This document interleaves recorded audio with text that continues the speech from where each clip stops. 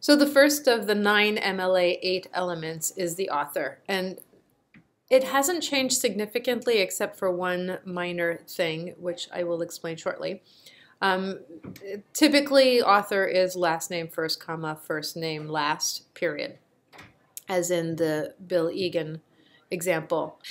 If you have two authors, you'll do last name first, comma, first name last, comma, and then use the conjunction and, first name first, and last name last, period.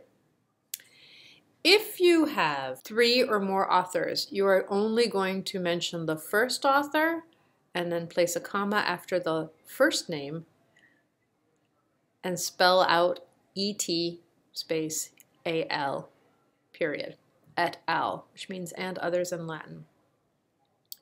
Organizations can be authors too, and these are called corporate authors. A very common one that you will see um, in your uh, global history curriculum here at New Canaan High School is the Central Intelligence Agency. So in this first instance, you can see that there is no author. The author would be in yellow and there is no author. So we just leave that out and go straight to the next item in the list of elements. In the second one, I had mentioned this earlier, this author is the Central Intelligence Agency. And in this instance, you can see that you have two instances of the same author, in which case the second author is not listed or spelled out. You just put in three dashes and a period, and then you go straight to the title of the source.